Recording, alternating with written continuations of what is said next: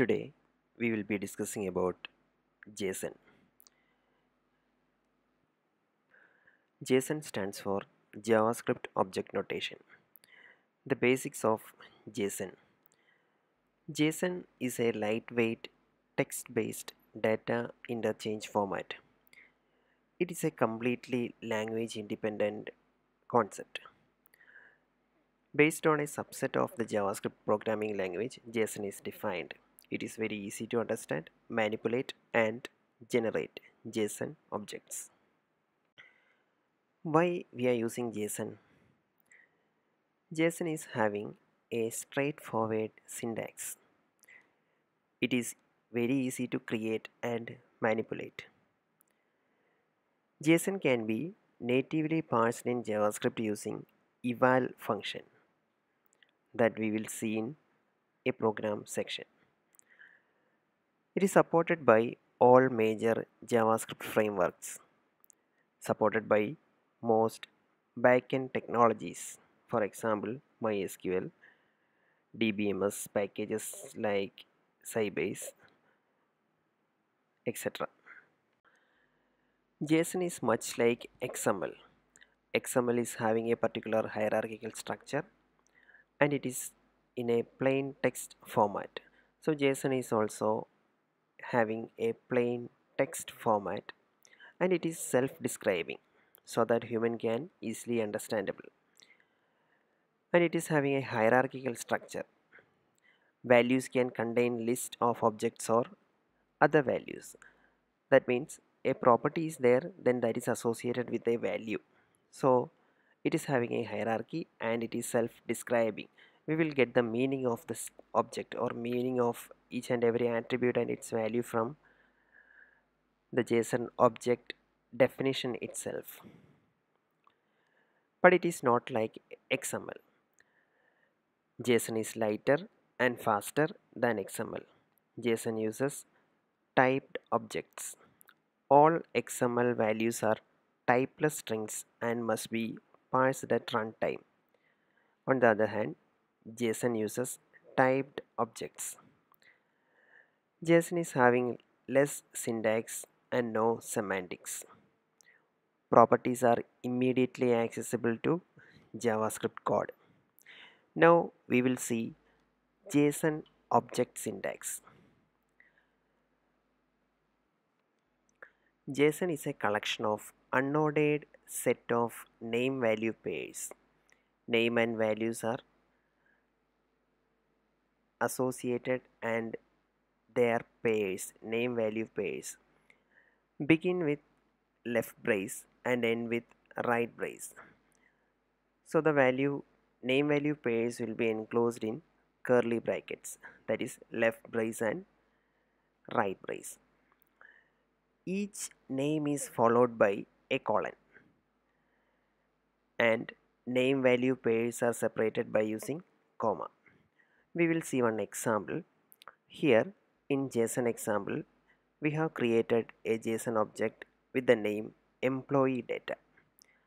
Var employee data equal to open curly bracket employee id in double quotes colon 1 2 3 4 5 6 7 comma.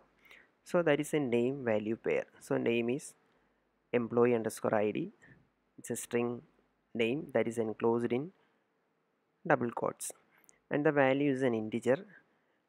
As it is an integer that is not enclosed in double quotes. If it is a string value that should be enclosed in double quotes. See the second line name colon Jeff Fox. So name is a string and Jeff Fox is the value and that is a string value so it is enclosed in double quotes. And name and values are joined together using a colon. Another comma is there for separating the name value pair from the other name value pairs. And the third name value pair is hire date colon 1 slash 1 slash 2013 that is the date. So that also considered as a string.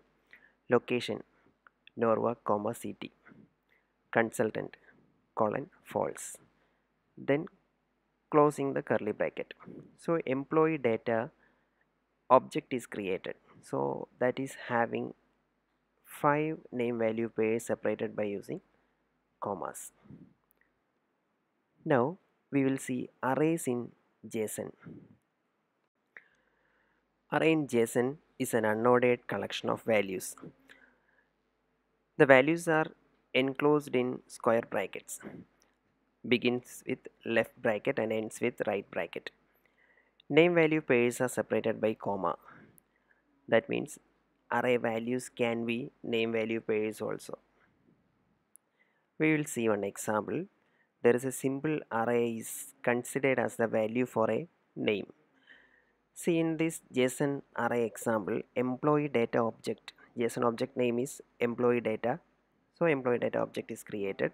Employee id colon 1236937 name jeff fox hire date a date is specified 112013 location is norwalk city. Consultant that is a false value. All these name value pairs are almost same with the previous example. And one another name value pair is included. There we have used an array of values. Random underscore nums colon 24 65 12 94 so these four values are enclosed in square brackets. So random numbers may be either 24 or 65 or 12 or 94 that depends on the program that calls that random numbers name. So this is how arrays are include, included in json object. Now we will see another example. In this example looping through an array using a for in loop is implemented html tag is here body tag followed by a paragraph. One comment is displayed here followed by another paragraph tag. Their specified id value. Id is equal to demo. No contents are specified there. Then starts our script. So in script variable my obj i and x are specified and x is initialized to empty string. My obj and i is not initialized. My obj is the object here. My obj equal to name colon john comma age colon 30 comma cars ford comma bmw comma fiat. So cars name is having an array of values three different values are there in our array all are string values. Ford bmw and fiat. So it's a json object. My obj is a json object here. Three name value pairs are there. And one value is an array. After that we have implemented a for in loop. For i in myobj.cars so here myobj is the json object name and cars is the name. So cars will be invoked. Cars array will be invo invoked on calling myobj.cars here x plus equal to myobj.cars of i plus br that means x that is an empty string that will get a value empty string plus myobj.cars of i. I in myobj dot cars. So first value cars of one cars of 0 will be referred here.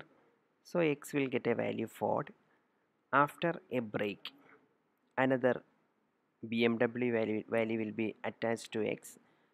Then it will add a break or a new line.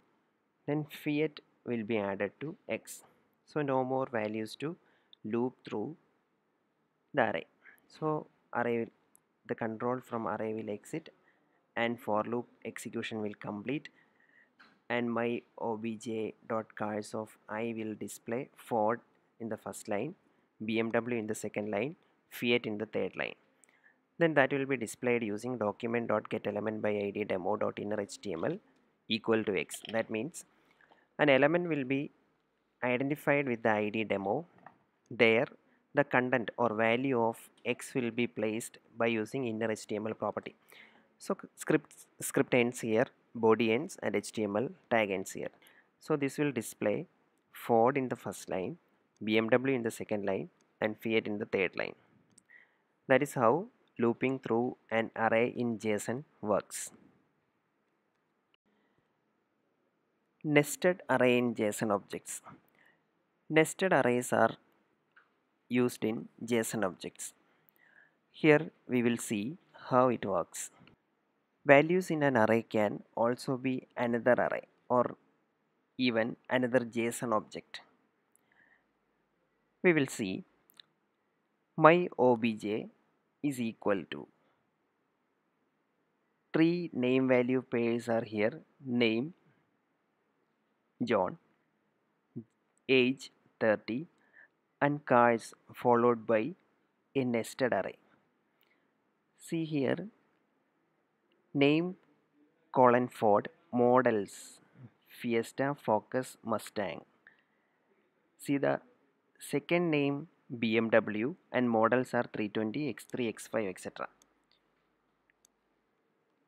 Third name value pair is name colon Fiat followed by model colon 500 Panda.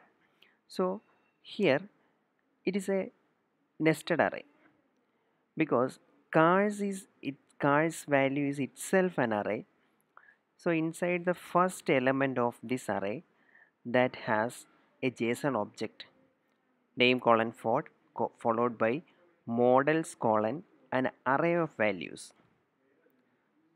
Similarly for name BMW models are having an array of values. For the third row or third name value pair name colon Fiat followed by models colon 500 Panda. So these three values are elements of an array that is the value of cars inside each element models value models name is having an array of values so this is how nested arrays are included in JSON here another JSON object is also considered or defined as array elements. So this is how nested elements and JSON objects are considered as values in JSON creation, JSON object creation. Now we will see something about different data types. Strings first.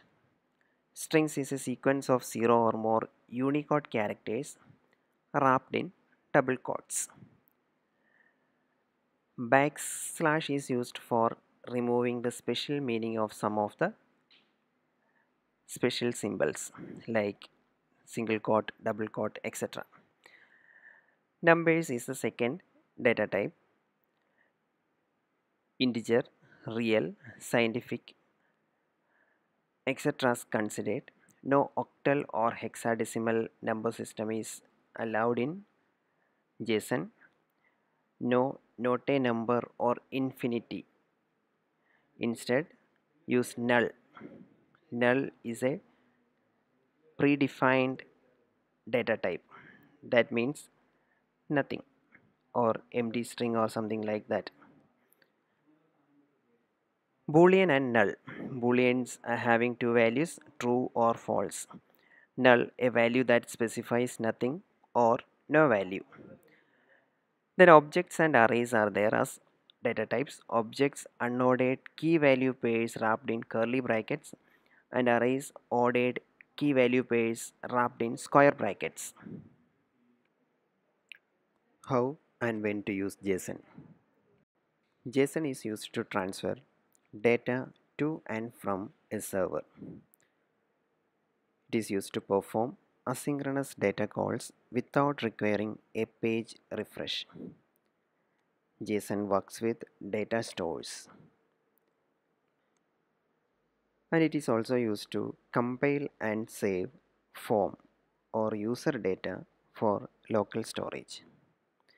We will see how sending data to a server using JSON with the help of a program.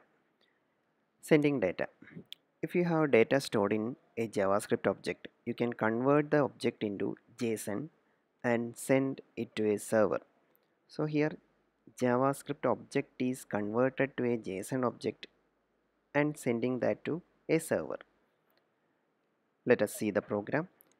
We have HTML code, body tag, then a heading tag is there that informs the user convert a JavaScript object into a JSON string and send it to the server. So inside our script we have created my obj. My obj is a JavaScript object and that is having three name value pairs name John age 31 city New York. And stringify method or function is used to create a JSON string.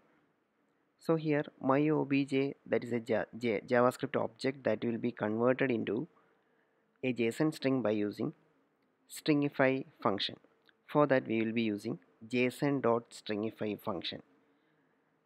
So after converting that javascript object into a json string the string will be stored in my json variable.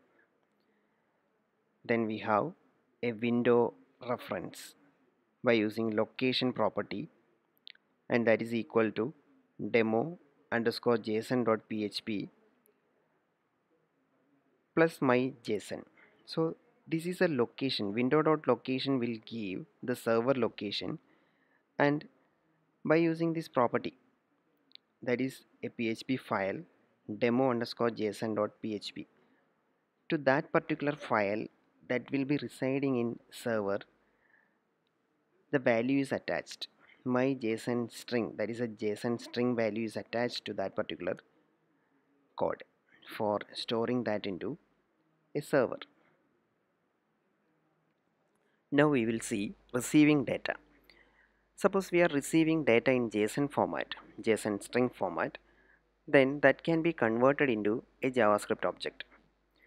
For that, we will be using a function known as json.parse. So parse is the function name here we will see that particular conversion with the help of this program so HTML body tags are here then a heading is there convert a string when uh, written in JSON format into a JavaScript object followed by a paragraph tag is there id is equal to demo here.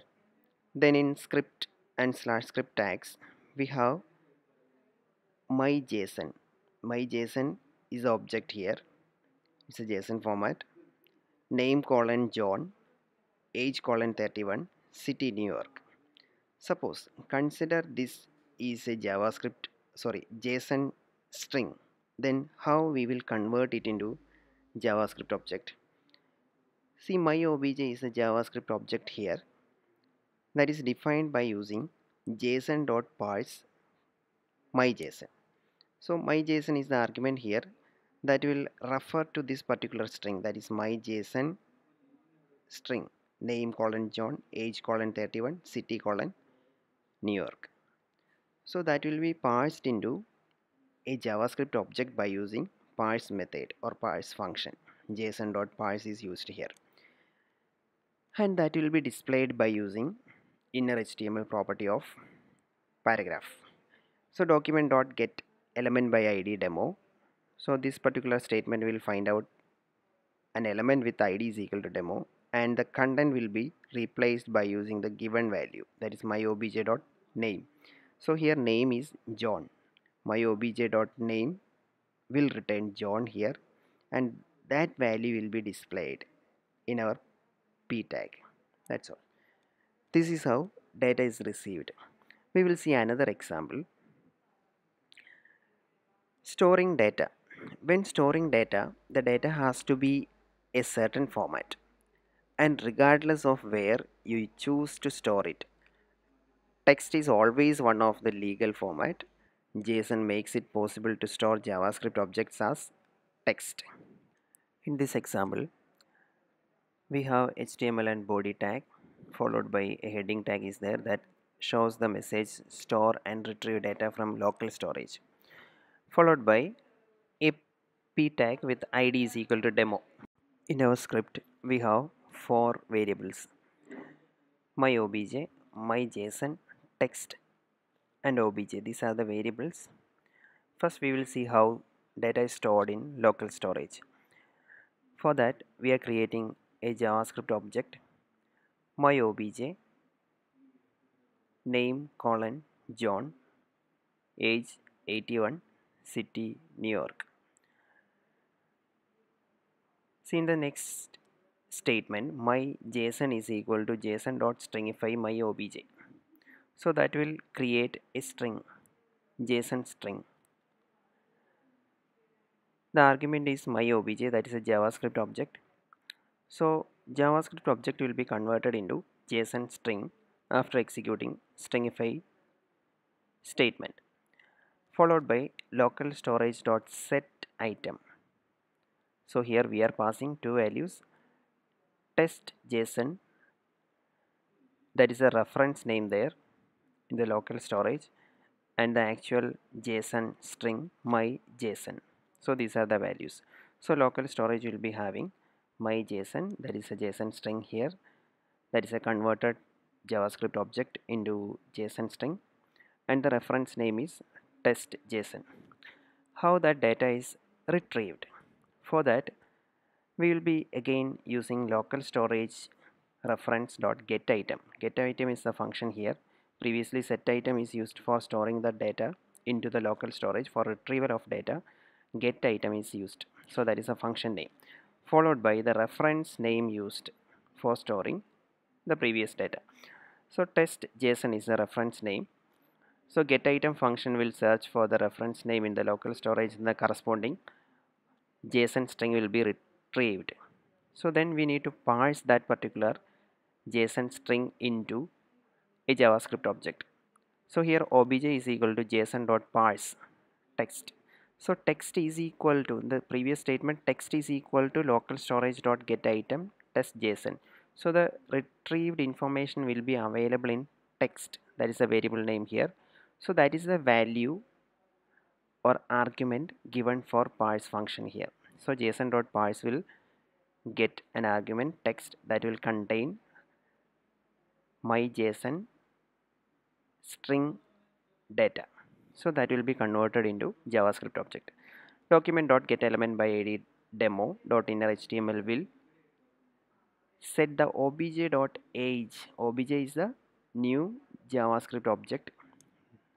After converting the retrieved json string into a javascript object obj is the reference or javascript object name here we have given so obj dot age will return 81 here okay so that 81 will be displayed in the paragraph element here this is how storing and retrieval of data along with JSON is implemented in this program. Thank you.